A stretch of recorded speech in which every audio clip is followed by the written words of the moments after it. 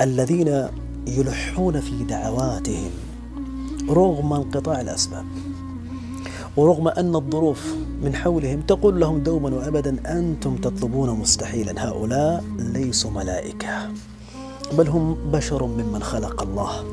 يحاصرهم المستحيل ويخنقهم الانتظار. لكنهم لكنهم في الوقت ذاته يعرفون ربهم حق معرفته.